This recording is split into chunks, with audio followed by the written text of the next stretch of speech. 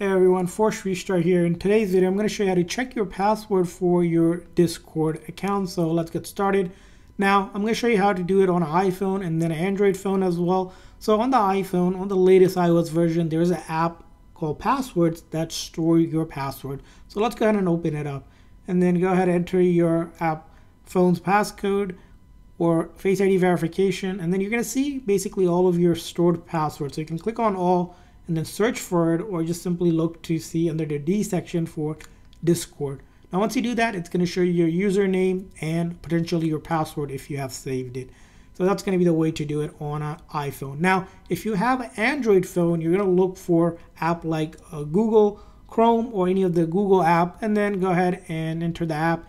And most likely, if you're not signed in, go ahead and sign in.